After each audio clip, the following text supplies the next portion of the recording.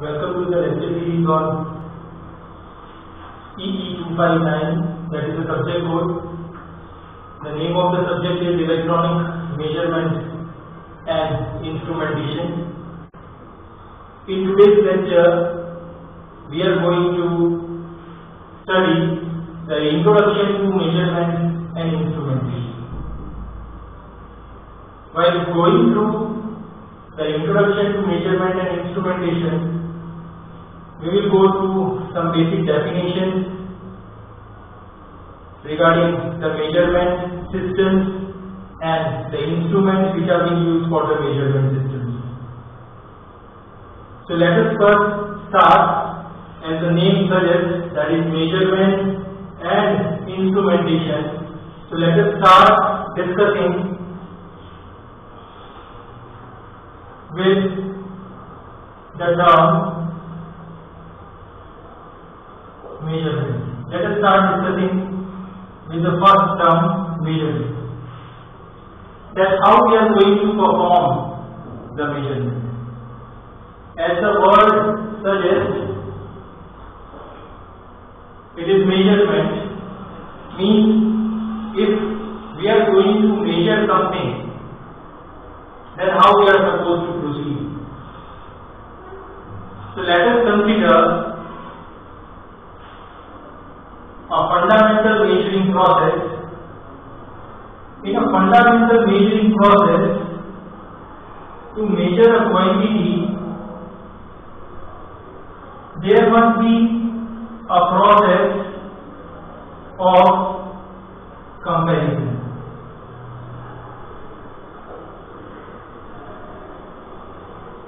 For the measurement, normally what we do, we compare the unknown variable with some reference. Means the comparison of the unknown variable is being done with, with respect to a reference, so we will get the output. So, the fundamental process for measurement requires the process of comparison. So to this process, the quantity to be measured, the quantity to be measured is being inputted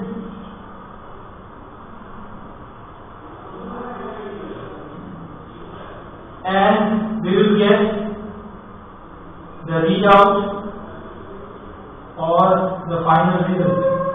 Now, to do the process of comparison, we are going to use a standard for that comparison. So this is basically a fundamental measuring process in which a quantity to be measured is being inputted that is being compared with a standard or a reference quantity and finally we will get the readout. Now, depending on the fundamental measuring process, the quantity to be measured is known as, that is being known as measurand, that is being known as measurand and the output signal or readout that we, we take is called as measurement. Means if we consider an electronic measurement system, so to an electronic measurement system we are having for an electronic measurement system we are having input signal. We are having an input signal as a measurand. That is being given to a measurement system. That is being given to a measurement system and from that we will get an output signal which is being known as the measurement. So, from the fundamental measuring process, we can define the input signal is being known as measurand and whatever the output signal that we are getting is known as measurement. Now, while performing this measurement process, the measurement systems are using some instruments or there are some processes which are being involved during the measurement.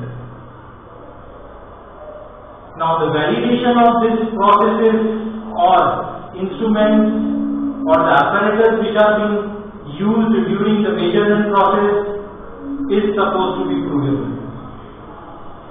And the procedure to do that is known as calibration. So the calibration is required in the measurement and instrumentation.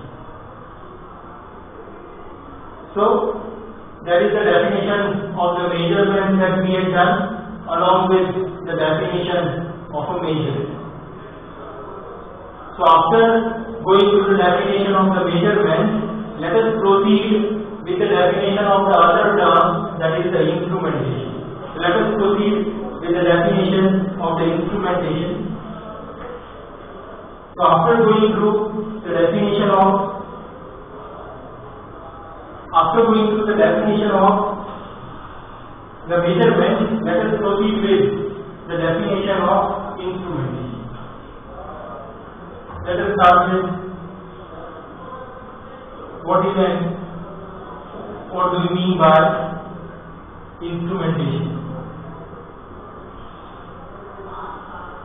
So the technology to use instruments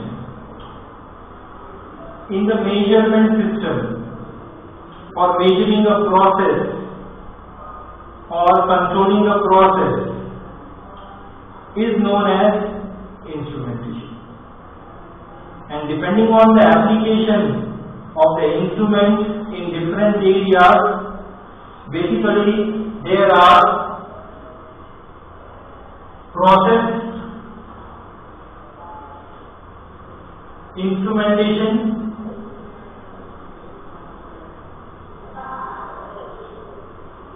and control system. In industry, the instruments are being used for processing or treatment of chemicals or for the processing of some plants. Over there, the process instrumentation term is being used.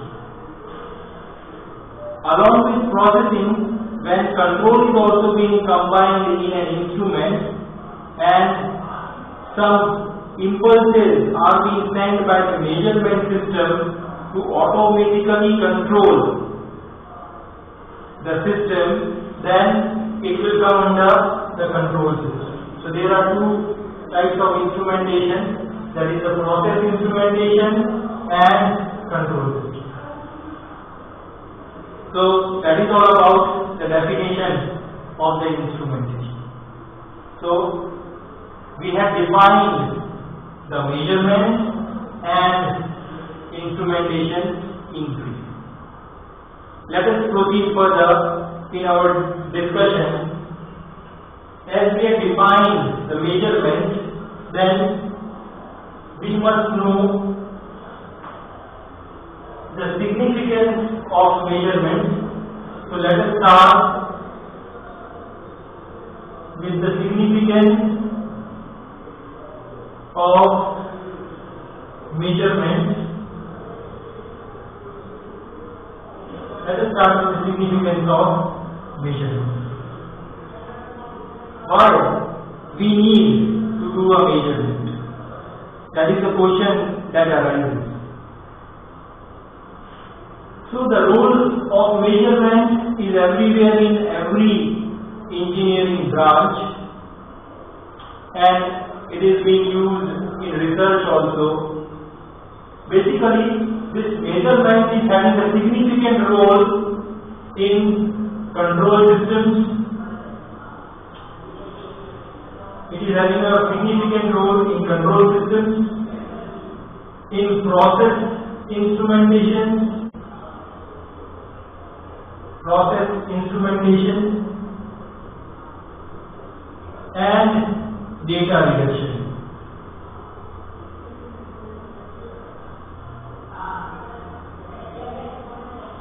Now, the whole area of automation and automation control is dependent on measurement. So, this will be the first significance that measurement is playing an important role in control systems, process instrumentation and data reduction. The second significance is it is having a significant role in automation control.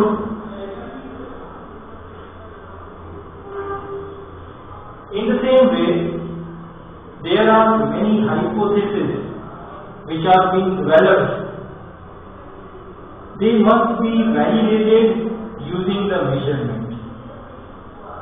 And its understanding is also based on the measurement so depending on the validation or the measurement or for the hypothesis which are being developed, new ideas are being developed in the field of measurement and instrumentation by which the new parameters can be measured.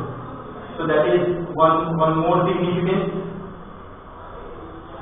Now, the next significance is that by doing the measurement, it is always helpful in the production of materials or while we are going for the production process, the measurement plays a significant role. The efficiency of the process is being increased because of the measurement. Even in some cases, there is cost reduction also. Even the uh, maintainability of the system is also improved. So, these are the few significances of the measurement. Let us proceed further after the significance of the measurement. Let us proceed further.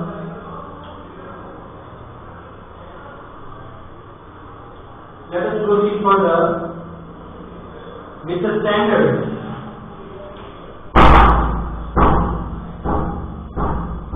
With the standards of measurement. Now, as we know that that during the measurement process, while doing the measurement, we are comparing a standard with an unknown variable. So, for a measurement system, an unknown variable is being included to the measurement system that is being compared by a standard variable and we will get the. So, without focusing on the process of measurement, we need to focus on which kind of basic standard we are employing as a reference to measure or for doing the measurement. Now, so that, that will come under the standards of the measurement. The standard will be in a way that for, for the measurement process, the standards are to be chosen in a way that we can easily convert one standard into uh, other standard or it, it must be a system compatible standard. Now, there is a classification of standards of measurement. Classification of the standards of measurement is being done as the first is that is primary standard. That is the primary standard. Primary standards are the highest standards. That may be a base standard or that may be a derived standard but it is the highest. That's why it is being called as the primary. The second classification is that is secondary standards as the name suggests secondary standards are the reference or calibrated standards from the primary standards. They are being derived from primary standards. That's why they are being called as secondary standards. After secondary standards, the third classification is that is the working standards. That is the working standards. This working standard is having one, one order low accuracy than the secondary standards and this working standards are being used by the workers on the field who are doing the measurement or the measurement process. So, these working standards are nothing but the standards which are being used by the workers during the measurement process. So, these are the standards of measurement and the classification that is primary standard, secondary standard and working standard. So, this is all about standards of measurement. Let us proceed further with the introduction to the measurement and instrumentation and let us discuss now let us discuss the modes of measurement. Let us discuss the modes of measurement. Means how the measurements are to be done. That is nothing but the modes of measurement. So basically there are three modes of measurement. The first one is primary measurement. The first one is primary measurement. Now see that in primary measurement, the measurement is being done directly without any translation or conversion. The example for a primary measurement is a clock. For an example, if I start counting the time 6 from the second tick and I count till I want to count till 30 seconds. So I am doing a primary measurement means I am directly counting from the second tick of my clock. So that will become a primary measurement. Means without any translation I am directly doing the measurement. So that will give us the primary measurement. In the same way, we are having secondary measurement. In secondary measurement, there is only one translation during the measurement process. So, in secondary measurement, there is only one translation that is being done during the measurement process. Means only one conversion is being required to measure an unknown value. A typical example for a secondary measurement is a thermometer. A mercury glass in a thermometer is being used to measure the temperature. So mercury in a glass inline thermometer is being used to measure a temperature that will come under the secondary measurement. So there is only one translation, mercury in a glass line which is to be converted into temperature.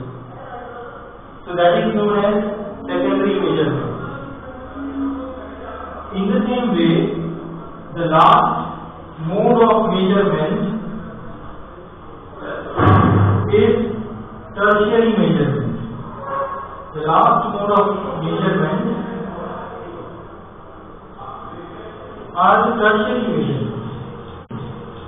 in tertiary measurement there are more than one translation और conversion आदमी को require that's why it is be known as tertiary measure और we can say two conversion आदमी required in the measurement process a typical example of a tertiary measurement is for an example measuring a temperature by using a thermocouple.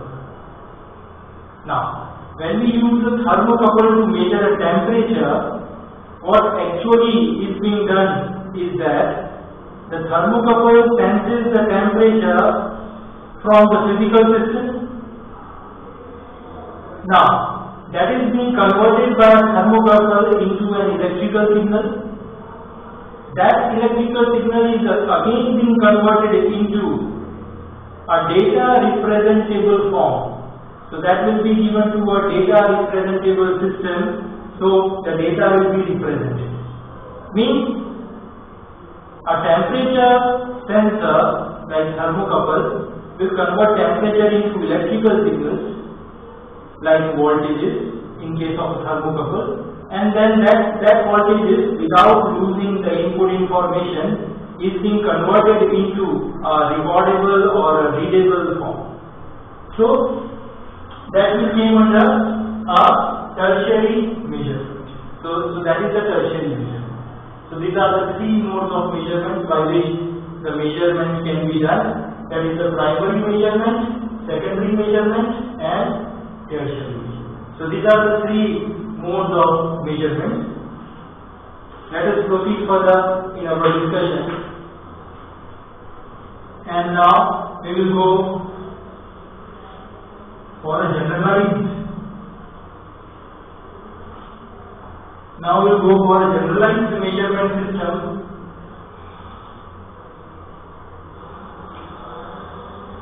A generalized measurement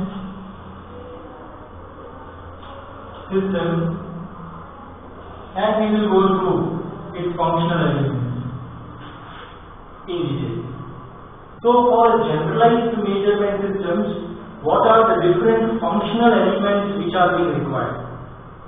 So in a generalized measurement system, we are having a physical system. A physical system will be there. From that physical system for which it is to be designed in a generalized measurement system that this one is the input signal or the measurand that is being given from a physical system. So that is being sensed by the sensor in the measurement. Okay, so the first functional element is the primary sensing element.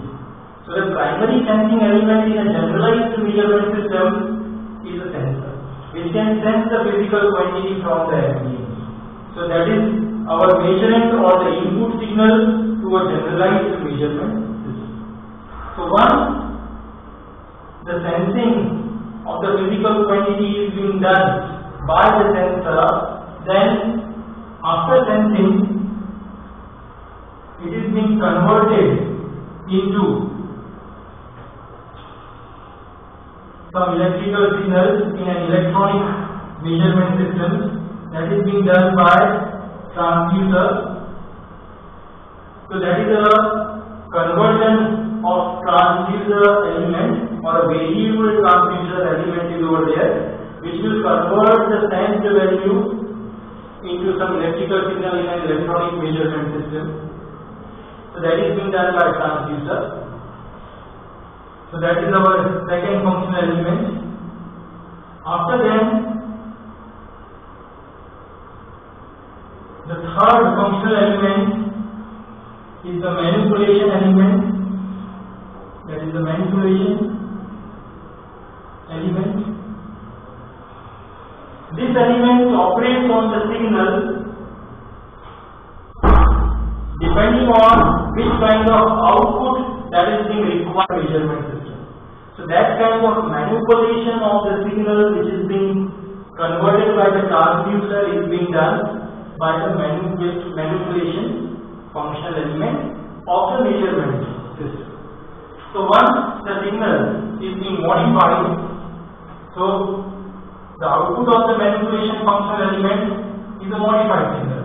So we are having a modified signal. We are having a modified signal. Now this signal, depending on the application, being feed to that is fed to a data presentation block. A data presentation block. In this block, we are having basically three units. If we want the modified signal to be given to a controller, so if it is to be given to a controller, so it will work for some control applications. If we want to only indicate, then it will be given to an indicator, or if we want to store it and use it later on, then it can be given to a recorder. Okay, so that is the generalized measurement system, and the basic functional elements are that is the sensing element. After that, we are having a variable conversion transducer element. We are having a manipulation element, and after that, the last functional element to a generalized measurement system is the data presentation element. So we are having a generalized measurement system with the functional elements as discussed by using this block diagram. So, after going through in detail regarding the measurement and the measurement system, means we have discussed a lot regarding the measurement and measurement system. Let us now discuss regarding the instrument. So let us start with instruments.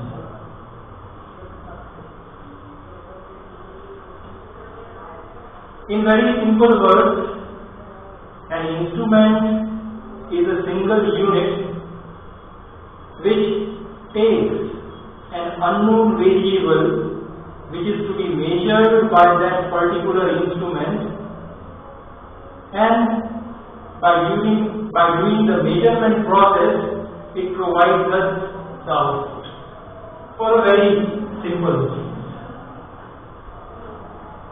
means instruments can perform the process of measurement.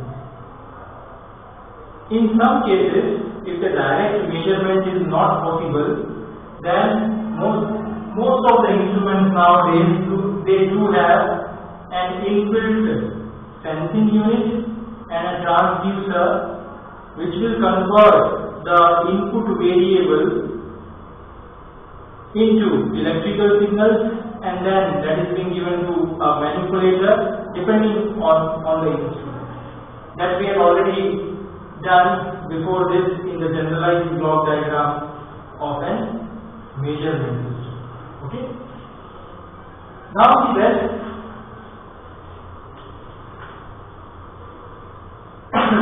for an instrument that is also same. It, it can be a very sim simpler unit or it can, can be a unit which is having inbuilt that sensing functional unit as well as a transducing unit as well as a manipulating unit and a data presentation unit. So that is a basic definition of an instrument. After going through the basic definition of the instrument, let us proceed further with the input output configuration input output one passing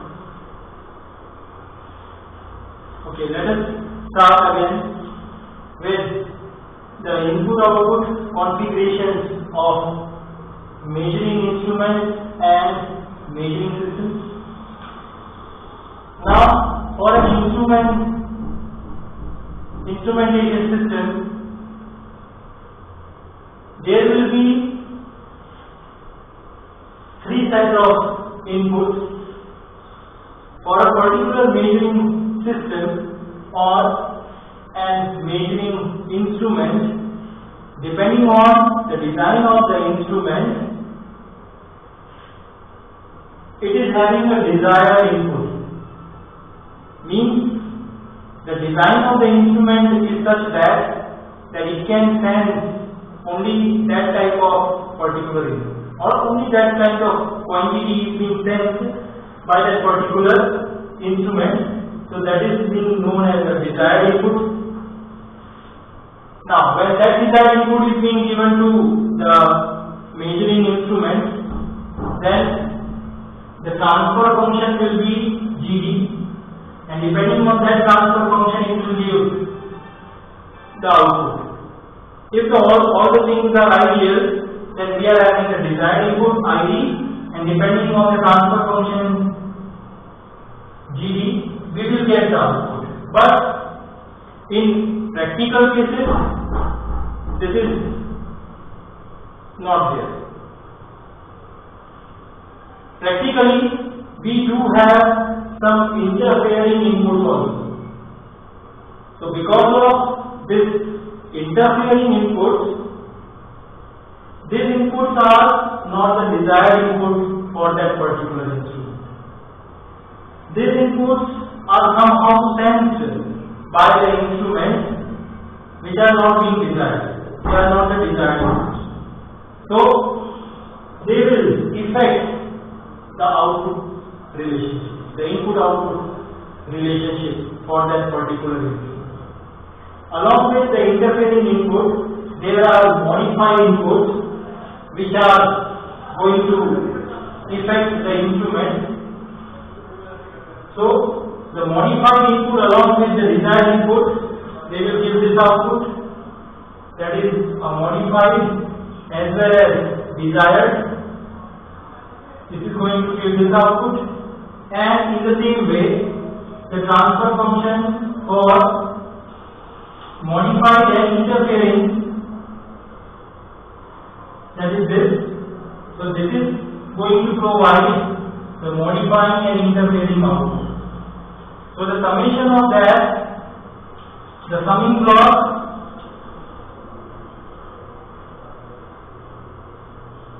the summing block will provide the summation of all these inputs. So, the inputs can be a desired input, interfering input, or modified, the combination of both desired and interfering, that is being known as the modified input. So, that will affect the input-output configuration or the input-output relationship of an. The first are filtered out. So that is the case of signal filter. In the same way, the second method is compensation by opposing input.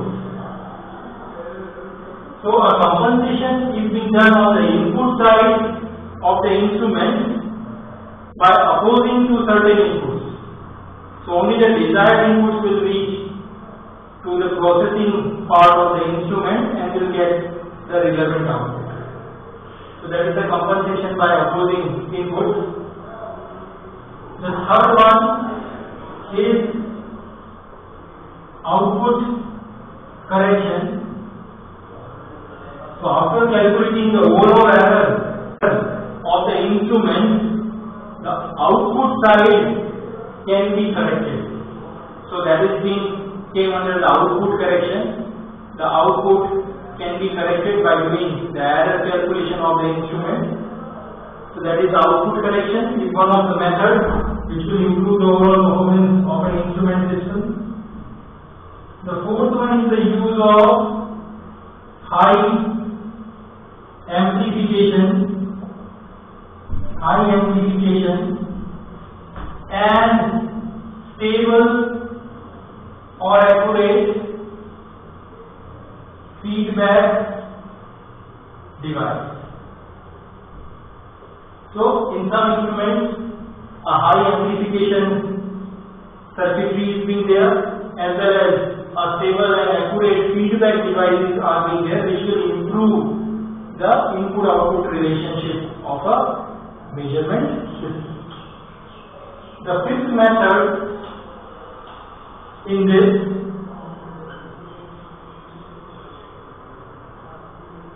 is to use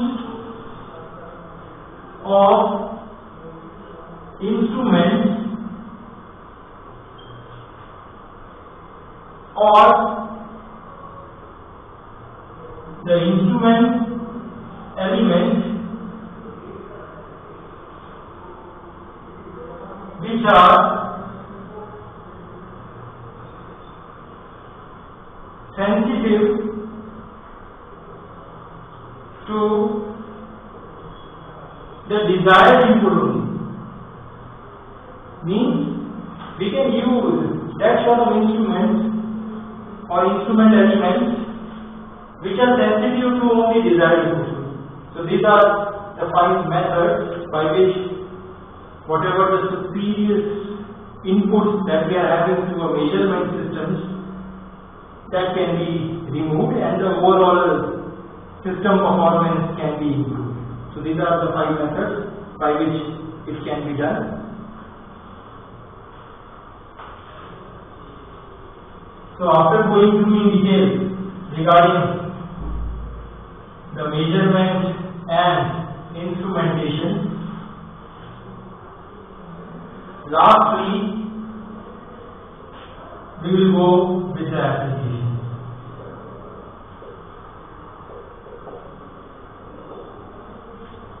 There are lots of applications of a measurement and instrumentation or instrumentation system.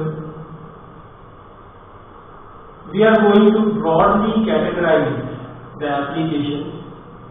So, a broad categorization of the application of a measurement system is being categorized into three categories basically.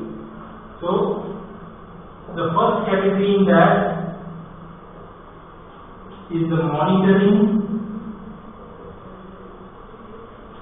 of processes and operations, monitoring of processes and operations.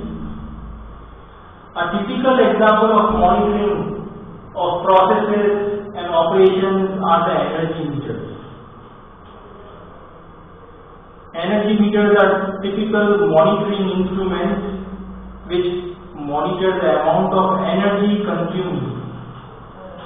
So that is one of the monitoring of processes and operations application that is the energy meter that we can say. The second is that is control of processes and operations. So the control of processes and operations are being are being done by using the measurement systems. A typical example of a control of process and operation is a automatic temperature adjustment system in an air condition Finally. So that is a typical example of control of processes and operations. So the measurement system is being used to control a parameter. And the third one is the experimental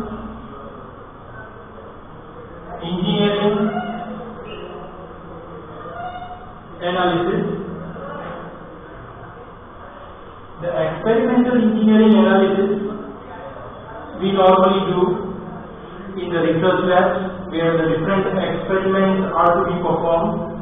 The validation of that experiment depends on the measurement systems. So these are the three broad categories in which we can categorize the application of a measurement system. There is the monitoring of processes and operations, control of processes and operations, and experimental engineering. So that is all about the introduction to measurement and instrumentation. In the next class, we will proceed further with the static characteristics and the dynamic characteristics of a measurement. Thanks for